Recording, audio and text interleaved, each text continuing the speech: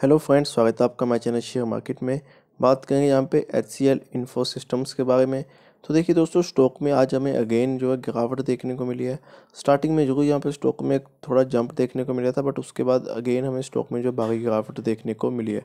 Last अगर five days की मैं बात करता हूँ तो यहाँ पर नेगेटिव रिटर्न से स्टॉक के। अगर मैं वन मंथ की बात करूँ तो थर्टी एट परसेंट के रिटर्न यहाँ पर स्टॉक ने आपको दिए हैं। अगर सिक्स मंथ की बात करें तो डेफिनेटली स्टॉक का जो ग्राफ है वो बिल्कुल नेगेटिव में है। बट अगर बात करें तो एक बड़ा बूस्ट हमें स्टॉक में देखने को ज़रूर मिला था बट उसके बाद अगेन हमें स्टॉक में फिर से वही गिरावट देखने को मिल रही है।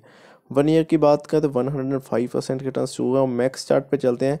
तो देखिए यहाँ पे कंपनी का मैक्स चार्ट नेगेटिव में है। तो देखिए दोस्तों, कोई भी अगर आप पेनी स्टॉक को बाय करने के बारे में सोच रहे हैं तो थोड़ा सा उसको एनालिसिस डेफिनेटली करें। और एनालिसिस में कंपनी का जो मैक्स चार्ट है, उसको आप ज़रूर चेक कीजिए। अगर मैं यहाँ पे स्टॉक के मैक्स चार्ट की बात करता हूँ तो देखिए हमारे पास कंपनी का मैक्स चार्ट बिल्कुल नेगेटिव है।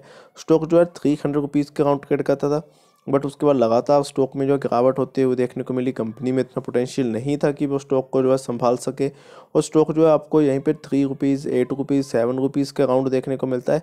बट यहाँ पे अगेन हमें थोड़ी सी इंक्रीज देखने को ज़रूर मिला है बट स्टॉक में इतना पोटेंशियल नहीं है कि वो आपका जो अमाउंट है उसको इंक्रीज़ कर सके। मैं ऐसा क्यों कह रहा हूँ? क्योंकि देखिए कंपनी की जो है फंडामेंटली वाइज भी इतनी स्ट्रॉन्ग नहीं है। उसके अलावा मैं बात करते हैं कंपनी के रेवेन्यू की तो देखिए यहाँ पे मैं कंपनी का रेवेन्यू आपके साथ शेयर करूँ। तो यहाँ पे देखिए कंपनी का रेवेन्यू लगातार कम हुआ और काफ़ी ज़्यादा कम हुआ है। सीधा फोर थाउज़ेंड से थ्री हंड्रेड तो एक भारी गिरावट हमें कंपनी के रेवेन्यू में देखने को मिली है।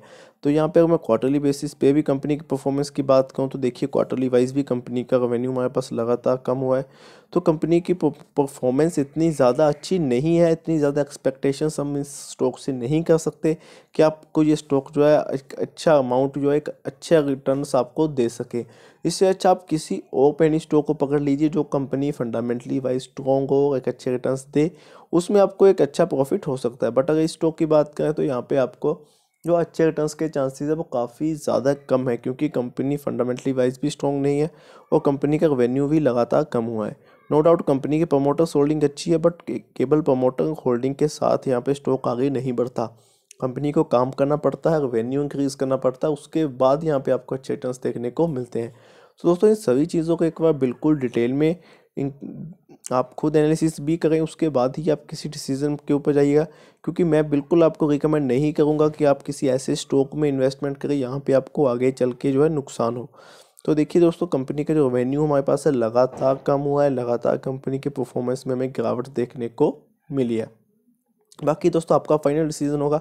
आपकी हार्ड मनी है, आपका ही डिसीज़न होगा कि आपको उसे किस स्टॉक में इन्वेस्टमेंट करना है और किस स्टॉक में इन्वेस्टमेंट नहीं करनी है।